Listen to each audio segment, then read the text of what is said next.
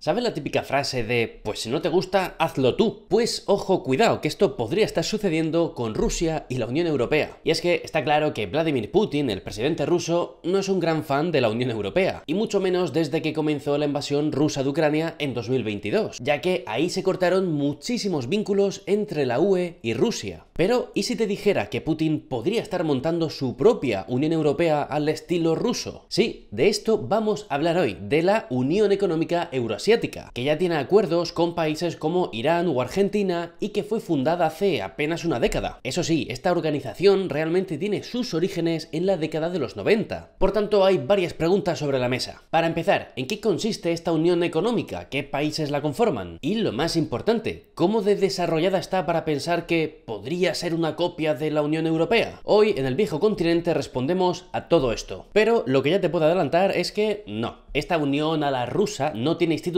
tan potentes como las de la Unión Europea. Por tanto, si eres de algún país de la UE, sigue siendo un privilegiado que puede acabar trabajando en Bruselas y para ello siempre puedes contar con Ya Semos Europeos, una academia que te prepara para aprobar esas oposiciones europeas y convertir el traje en tu segunda piel. Bueno, esto último es opcional, pero yo te dejo más información sobre Ya Semos Europeos en los comentarios que es el patrocinador del vídeo de hoy. Y dicho esto, ahora sí, vamos con el vídeo.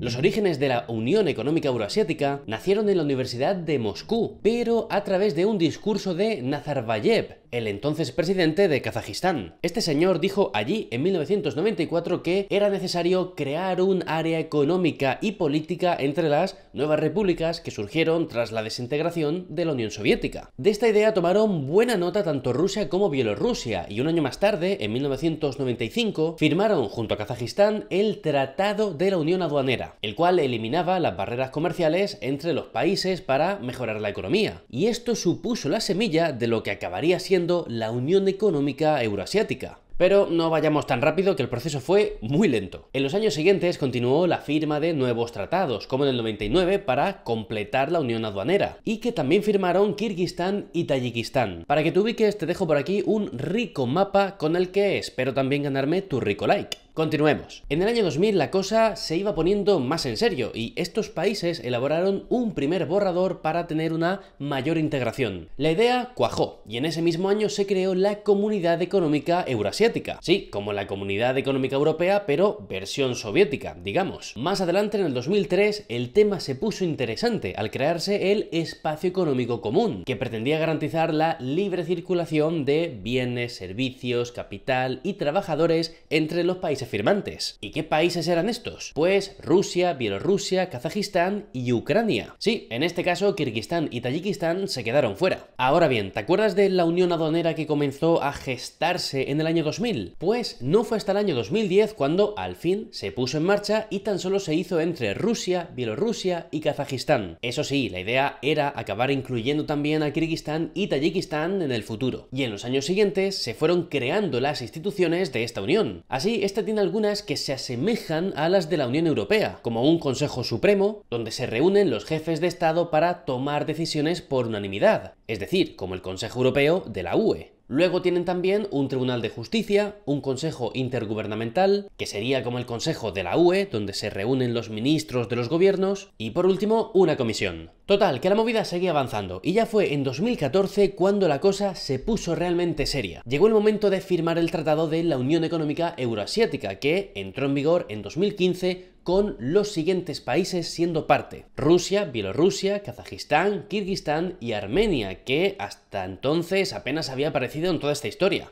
Pero bueno, con esto quedó consolidada una nueva unión que... ¿Tiene algo que ver con la Unión Europea?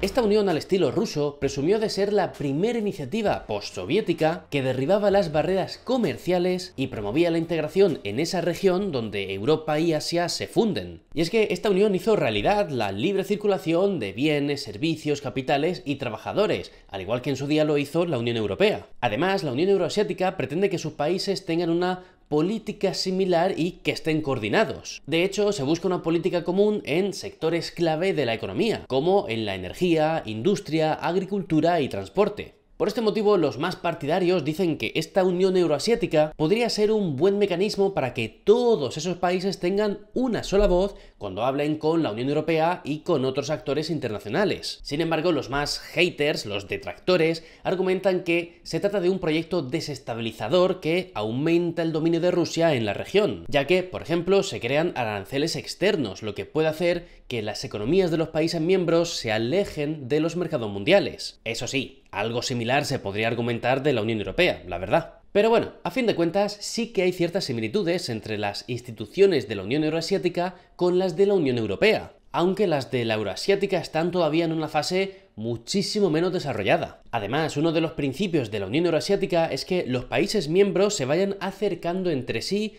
pero sin ceder soberanía, lo cual supone un cambio muy considerable respecto a lo que es la base fundacional de la Unión Europea, cuya meta final sería la unión política, económica y social de sus países miembros a través de la cesión de soberanía a las instituciones de la UE. Por tanto, en cuanto a la comparación con la Unión Europea, a la Euroasiática le queda mucho que correr si quiere ponerse al nivel de la UE, pero es cierto que el hecho de que los países no tengan que ceder soberanía es algo que pondría a más de uno muy contento en Europa. Ahora bien, ¿cómo le ha ido a la Unión Euroasiática desde 2015 hasta día de hoy? Vamos a verlo.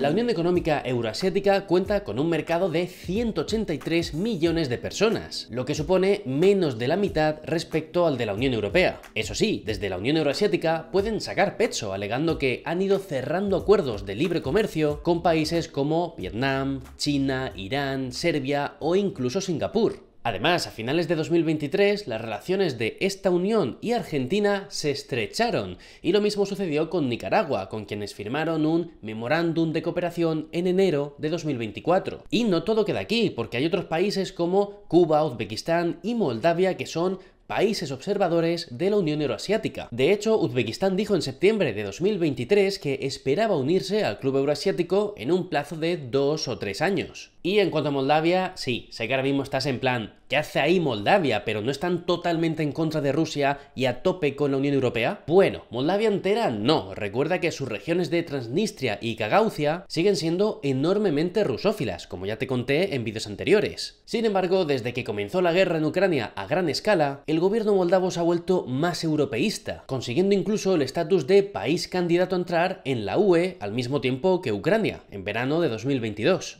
Y es que, seamos sinceros, si en la Unión Europea quienes llevan el timón son Alemania y Francia, en la Unión Euroasiática lo hace claramente Rusia, que representa el 78% de la población de su club. Por tanto, las acciones de Rusia tienen una repercusión enorme en el desarrollo y crecimiento de la Unión Euroasiática. De hecho, a raíz de la anexión de Crimea en 2014 se mandó a tomar por saco la idea de Putin de crear una zona de libre comercio entre la Unión Euroasiática y la Unión Europea. Además, las sanciones que la Unión Europea le ha ido imponiendo a Rusia desde entonces, pero sobre todo a partir de febrero de 2022, han tenido repercusiones económicas y políticas en la Unión Euroasiática. Y es que, supuestamente, una mayor integración económica dentro de esta Unión debería hacer también que hubiesen menos conflictos y tensiones entre sus miembros, lo cual era también la idea original de la Unión Europea. Sin embargo, tras la invasión a Ucrania se marcó un punto de inflexión enorme, haciendo que Rusia no tuviese la capacidad suficiente para, por ejemplo, seguir apoyando a Armenia frente a Azerbaiyán. Consecuencias de esto, que Azerbaiyán se hizo con el control del Alto Karabaj oficialmente a principios de este año, Armenia dijo que congelaba su participación en la Organización del Tratado de Seguridad Colectivo, que viene a ser como una OTAN versión soviética, y el primer ministro armenio dijo en marzo que se planteaba mandar una petición para unirse a la Unión Europea, cosa que conté hace poco en un vídeo. Y es que si Rusia tiene pensado utilizar la Unión Euroasiática para imponer su dominio político en la región y como escudo para enfrentarse a Occidente, los países miembros podrían acabar percibiéndola más como una amenaza a su soberanía e independencia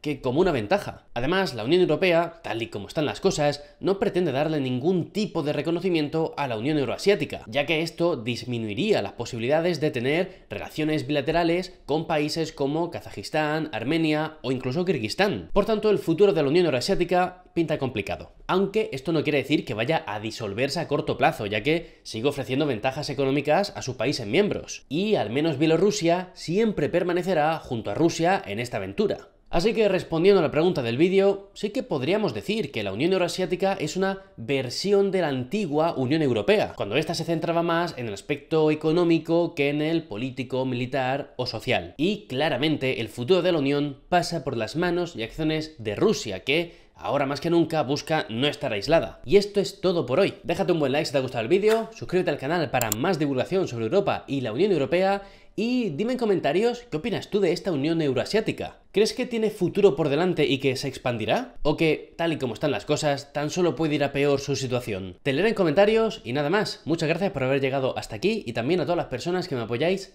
cada mes a través de Patreon, haciendo que este proyecto siga siendo independiente. Un abrazo y a pasar buen día.